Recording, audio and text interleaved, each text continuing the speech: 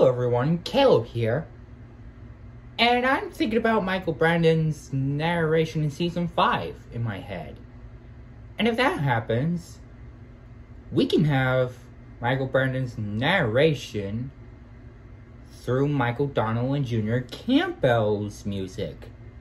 That'll be pretty cool. Just like in three season seven episodes from Thomas and the Jet Engine DVD.